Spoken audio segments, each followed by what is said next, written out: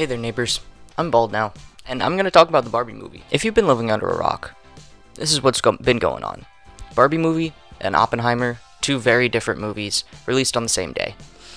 One is about a nuclear bomb that actually happened in history and the person behind it, and the other one is a lighthearted, imaginative, frilly, pink, girly movie about womanhood and femininity and also patriarchy. You know, I'm gonna. I, I got really excited for the movie. I saw the trailer and I was like, oh my god, the cinematography is gorgeous. The set design is gorgeous. Even if I don't watch it for the story alone, I'm gonna be watching it just for the visuals.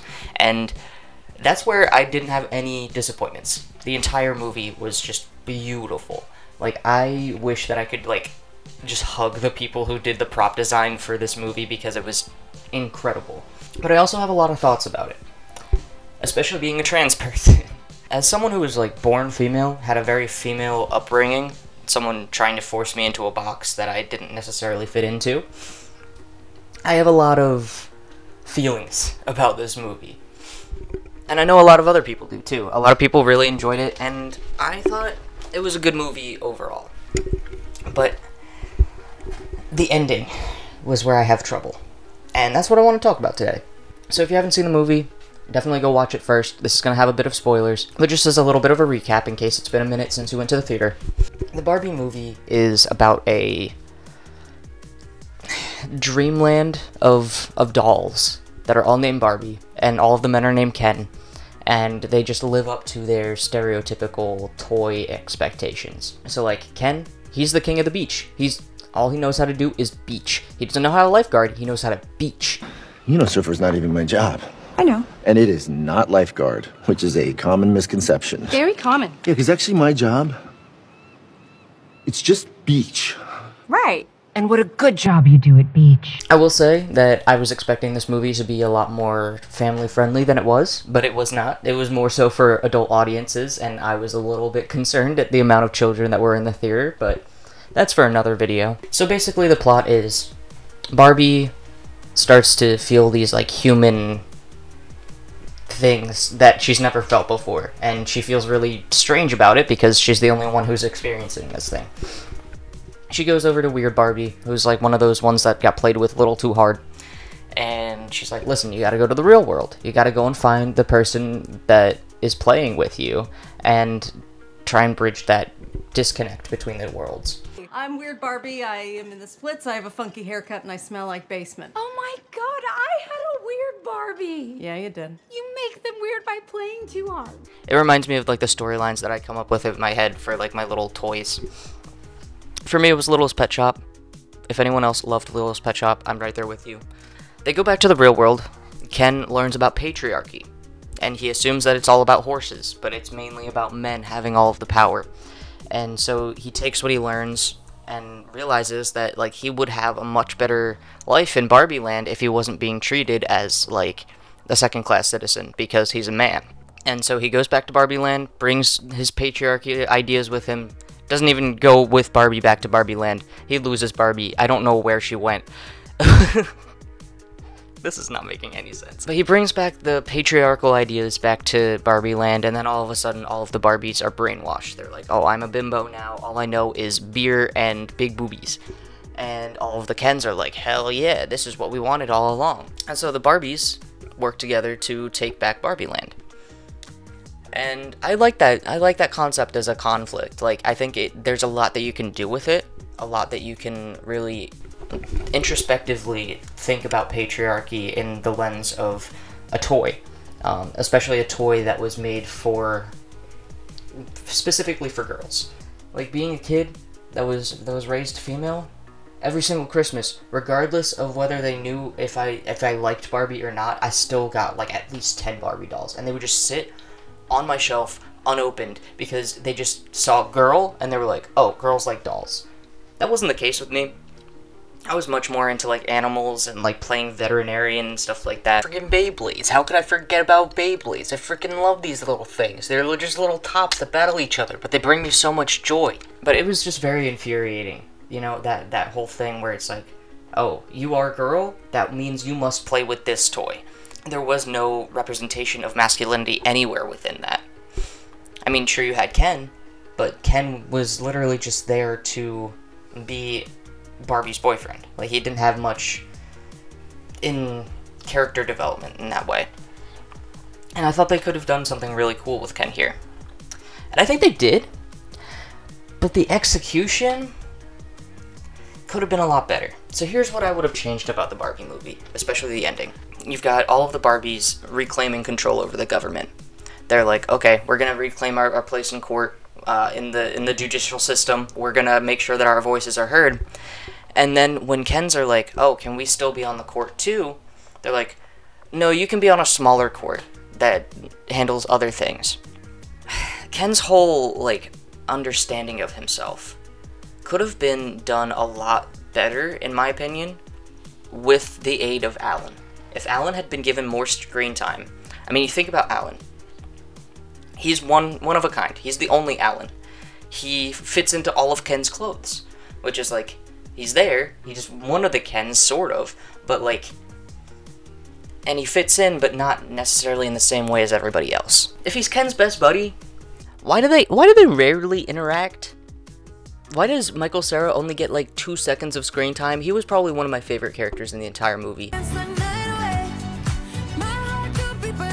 But I really do think that if Ken had just sat down at the end of the movie and had a heart to heart with Alan, and Alan had been like, "Listen, my whole my whole existence is literally just to be your friend, and I'm okay with that. That's just who I am. Like I I want to be your friend, but I am me. I'm Alan, and I'm okay with that. And if if Ken had sort of like understood that from Alan's perspective, then it would make a lot more sense for him to have this change of heart at the end. Because all that I saw when it came to Ken's change of heart was he cried, which is good, men should cry, but he had a musical number where he's just talking about it. And like, while that can be good, it doesn't feel right in this movie specifically because there wasn't really any musical numbers before then. And it's like, okay, we need Ken to change, so he's just gonna sing about how he's changing.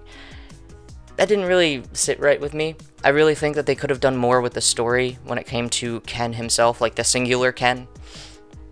But overall, I understand what Greta Gerwig was going for. Alright, I don't want it to seem like I don't understand because I do. Patriarchy has been a, a big aspect of human society for the longest time, and it sucks because women aren't given as many opportunities as men, and men are still trying to hold on to what little patriarchy that they can hold on to in the current day and age, and they're still trying to exert that power. But to me, if the Barbie's true intent was equity rather than power, they would have done more for the Kens. I feel like by the end of the movie, people just straight up forgot that the Kens are homeless. They don't have their own homes. And it's just up to the Barbies to decide whether or not to let them in. I feel like I feel like that should have been resolved. I feel like by the end of the movie, if they really wanted equity and not just power, they probably would have I don't know, made a place for the Kens to live. And it's such a an important part of the patriarchy story. Because this thing isn't going to go away unless men and women work together. Like Alan is one of those people who's trying to work with the woman. And like he could have been the one to talk to Ken. You know, like patriarchy is bad. There I said it. It's it's my hot take for today. Patriarchy is bad but that doesn't mean that we can't grow from it. There are men who want to dismantle the patriarchy, and we're not going to unless women and men work together. Unless Kens and Barbies work together. And trans people, I didn't forget about us. This movie is just mainly directed at the two two genders, so I made it more specific to that. But you know what I'm talking about. You understand. You get me, right? That That's what I got out of the ending of that. That's why I'm so frustrated because it still left me feeling like there's a war between the sexes or a war between the genders. Even as a trans person, that sucks. Especially as a trans person, that sucks. Because I don't want to hate the people that I came from, you know? Like I I was raised female. I don't hate the women in my life. because they're women. Like, as soon as we start to treat men, or Kens, as like this self fulfilling prophecy of like, there's nothing that we can do to help them change, that's when we kind of lose, I think. I think that's where we lose the plot because we do have power, we do have control, and we can make a better world for like everybody, not just one gender or the other, or a secret third thing.